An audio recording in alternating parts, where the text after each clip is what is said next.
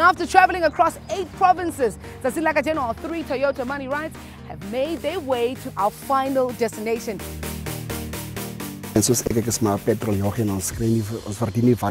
petrol